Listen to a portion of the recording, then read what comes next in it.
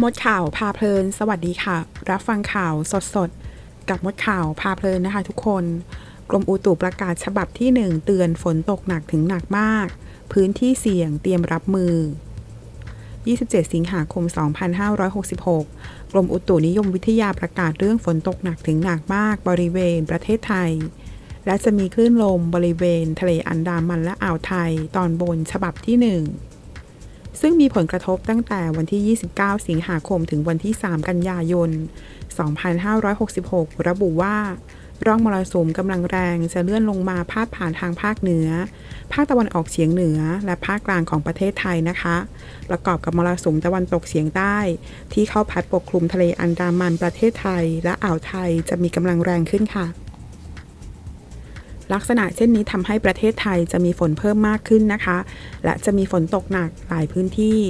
โดยมีฝนตกหนักมากบางแห่ง ขอให้ประชาชนในบริเวณดังกล่าวนะคะ ระวังอันตรายจากฝนที่ตกหนักถึงหนักมาก และฝนที่ตกสะสม ซึ่งอาจทำให้เกิดน้ำท่วมฉับพลันน้ำป่าไหลหลาก โดยเฉพาะ พื้นที่ลาดเชิงเขาใกล้ทางน้ำไหลผ่านและพื้นที่ลุ่มรวมทั้งเพิ่มความระมัดระวังในการสัญจรผ่านบริเวณที่มีฝนฟ้าขนองไว้ด้วยค่ะ สำหรับคลื่นลมบริเวณทะเลอันดามันตอนบนและอ่าวไทยตอนบนนะคะ จะมีกำลังค่อนข้างแรง โดยจะมีคลื่นสูง 2-3 เมตร บริเวณที่มีฝนฟ้าขนองคลื่นสูงมากกว่า 3 เมตรค่ะ